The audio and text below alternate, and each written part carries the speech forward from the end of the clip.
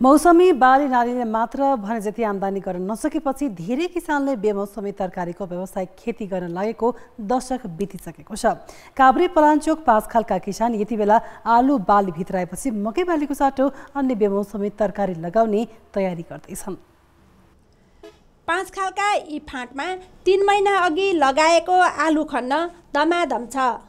यो बाली भित्राएपछि मकै रोप्ने समय हुन्छ। तर यहाँका किसान भने कुन तरकारीको बजार सहज र माग बढी छ त्यो तरकारी लगाउन हतारिएका छन्। तरकारीमा अलिकति पैसा पनि हुन्छ मकै छर्नुभन्दा।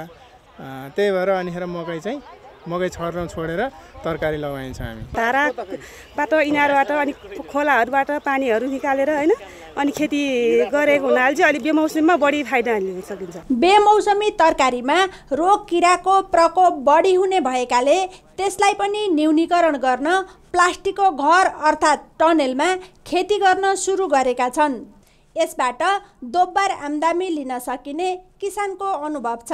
हामीलाई खर्च पनि कम लाग्ने अनि हामीले चाहिँ सुरक्षित तरिकाले उत्पादन पनि गर्न सकिने र हामीले विषादीहरूको मात्रा पनि एकदम कम रूपमा मात्र प्रयोग गरे हुने भएको छ र यसले गर्दाखेरि किसानहरूलाई चाहिँ एकातिर खर्च जोगियो अर्कोतिर हाम्रो आम्दानी चाहिँ एकदम दोब्बर भएर आएको छ। बेमौसमी तरकारी उत्पादन गर्दा विषादीको मात्रा बढी प्रयोग हुने आशंकाले कृषि ज्ञान केन्द्रले सुरक्षित उत्पादनमा किसानलाई सघाइरहेको छ।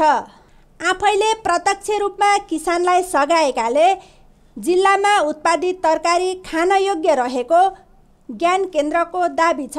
प्राङ्गारिक मल र अरू जैविक विषादीहरूको प्रयोग गर्ने र रोगको पहिचान किराको पहिचान गरिसकेपछि उपयुक्त विषादीको छनौट गर्ने त्यसलाई चाहिँ सही तरिकाबाट प्रयोग गर्ने र कुर्नुपर्ने अवधि कुरेर मात्रै चाहिँ उपभोग र बजारी बजारमा चाहिँ पुर्याउने। कृषि तथा पशुपन्छी मन्त्रालयका अनुसार नेपालमा वार्षिक चालिस लाख मेट्रिक टन ताजा तरकारी उत्पादन हुन्छ।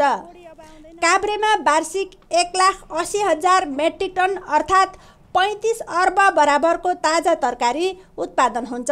त्यसमध्ये तिस प्रतिशत तरकारी बेमौसमी उत्पादन हुने गरेको कृषि ज्ञान केन्द्र काभ्रेको तथ्याङ्कमा छ।